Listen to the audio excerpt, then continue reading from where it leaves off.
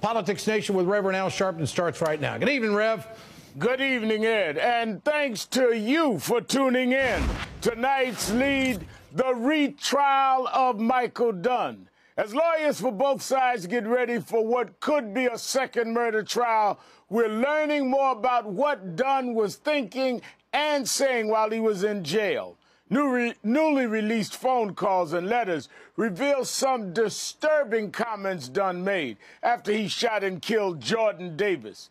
Dunn repeatedly says he fired in self defense and insisted he was the victim. Here's part of one phone call to his fiancee. I'm the victim here. I was the one that was being preyed upon, and I fought back. Right and and then you know it's not quite the same, but it made me think of like the old TV shows and movies where um, like how the police used to think when a chick got raped, mm-hmm. they're like, oh, it's her fault because the way she was dressed. Right. You know, and I'm like, so so it's my fault because I asked him to turn their radio He's comparing himself to a rape victim who was blamed for what happened. And that wasn't the only time he called himself a victim. You know, I, I was thinking about that today. It's like, I'm the victim here. I was the one who was victimized. I mean, I, I, I don't know uh, how, how else to put it. It's like they attacked me. I, I'm the victim. Right. I'm the victor, but I was the victim too. I'm the victor but I was the victim too. What about Jordan Davis, who would have turned 19 years old this week? Jordan's parents certainly think he's the victim in this case.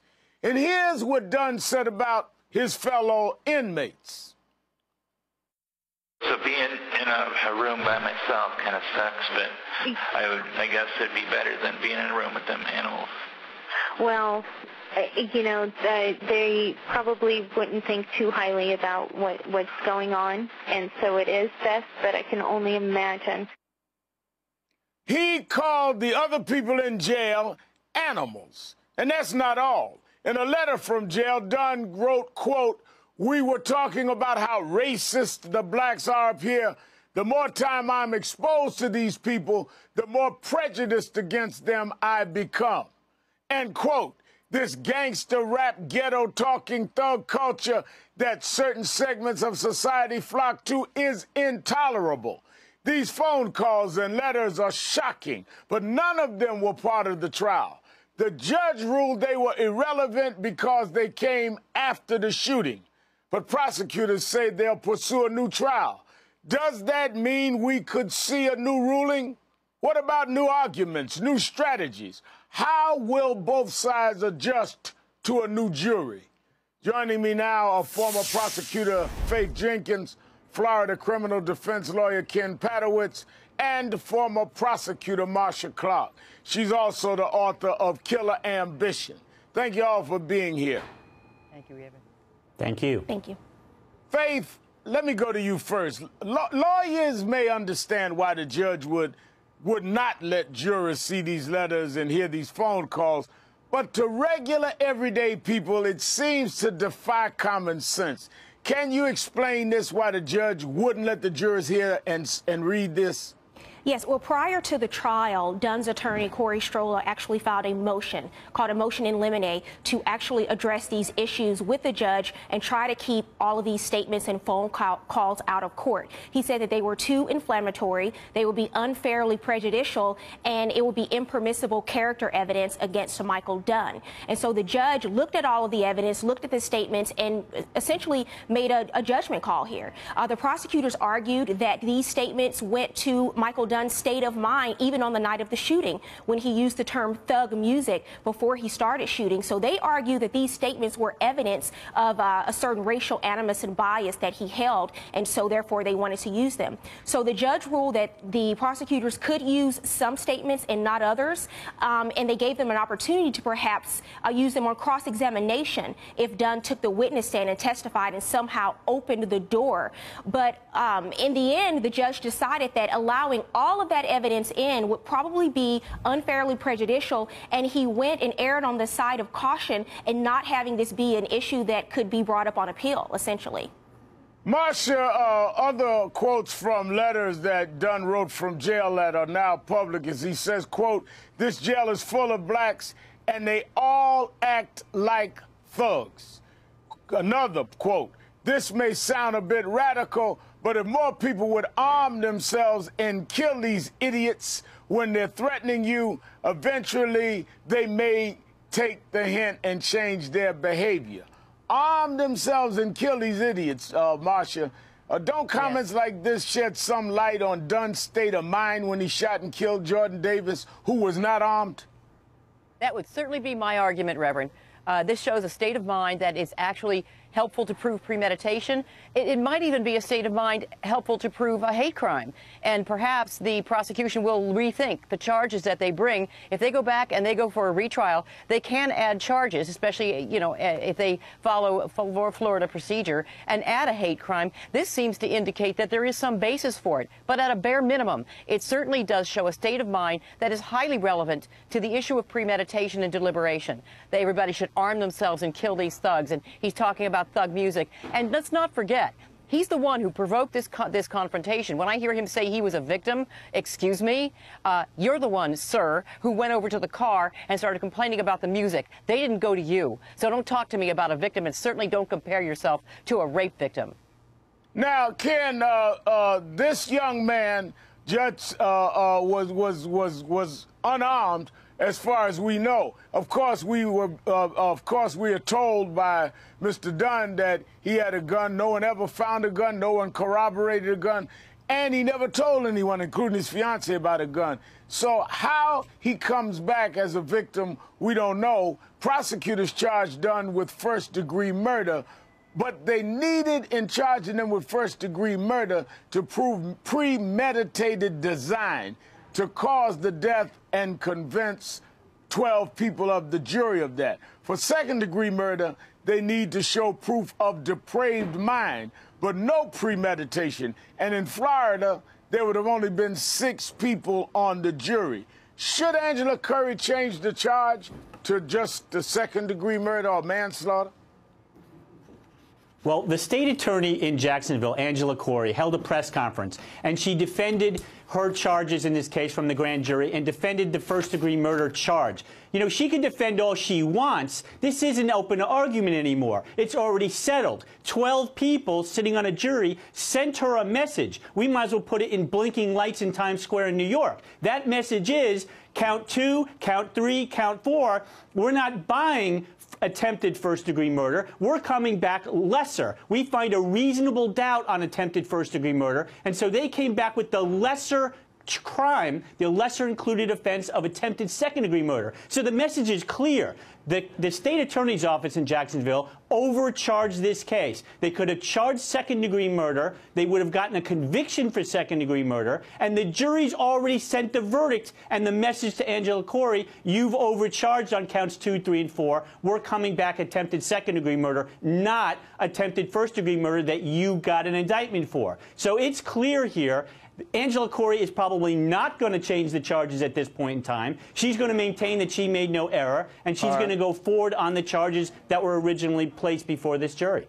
Now, Faith, uh, State Attorney Angela Corey did say she hopes to speak with some of the jurors. Watch this.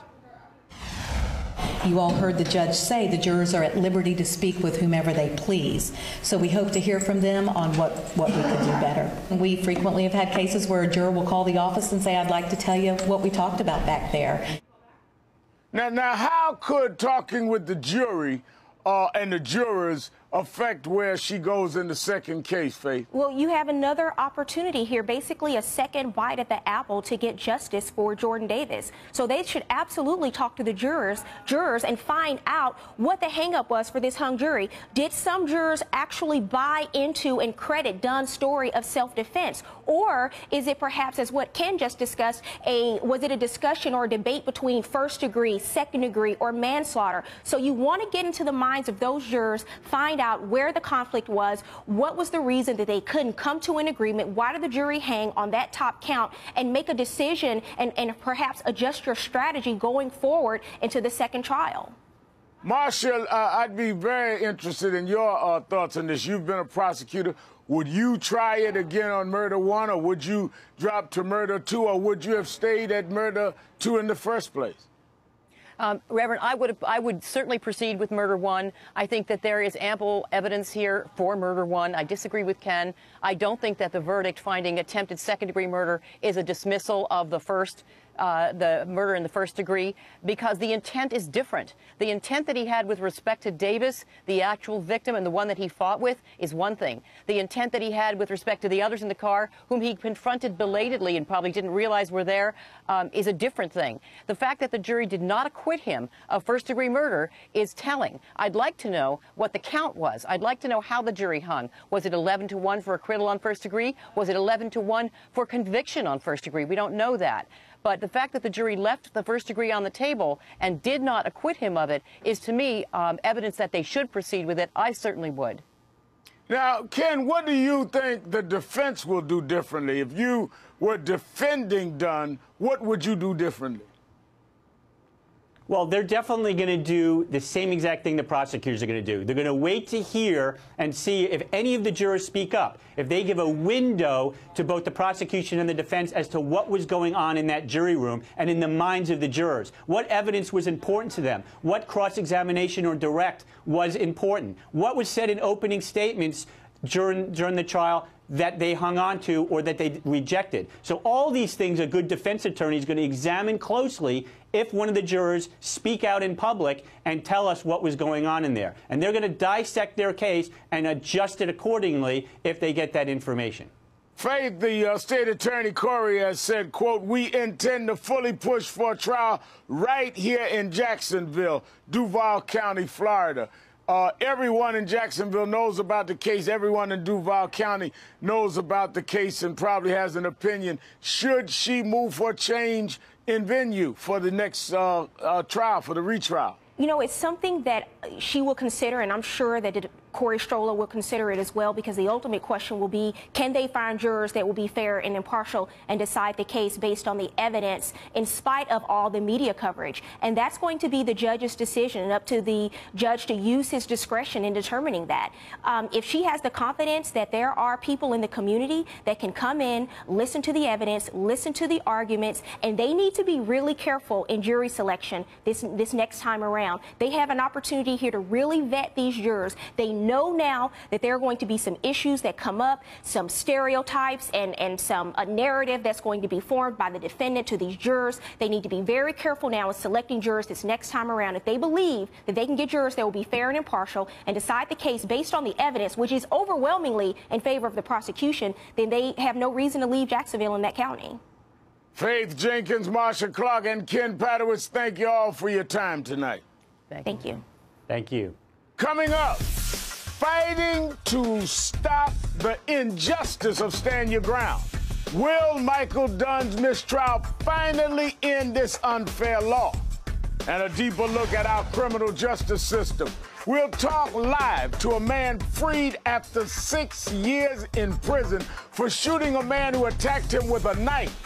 Why didn't a jury accept his claim of self defense? Also, big developments in the Christie Bridge scandal. I'll talk to the lawmaker leading the investigation. And my meeting with President Obama and civil rights leaders today. What we are doing to advance the dream. It's a big show ahead. Stay with us.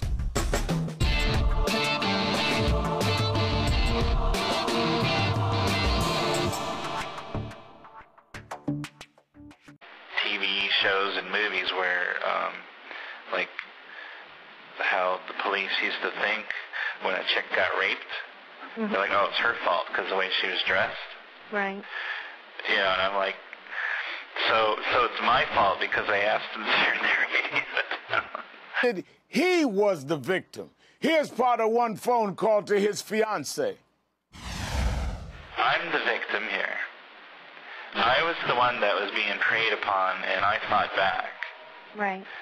And then, and then, you know, it's not quite the same, but it made me think of like the old. Dunn was thinking and saying while he was in jail. New re- newly released phone calls and letters reveal some disturbing comments Dunn made after he shot and killed Jordan Davis. Dunn repeatedly says he fired in self defense and insisted. Politics Nation with Reverend Al Sharpton starts right now. Good evening, Rev. Good evening, Ed, and thanks to you for tuning in. Tonight's lead the retrial of Michael Dunn. As lawyers for both sides get ready for what could be a second murder trial, we're learning more about what he's comparing himself to a rape victim who was blamed for what happened. And that wasn't the only time he called himself a victim. You know, I, I was thinking about that today. It's like I'm the victim here. I was the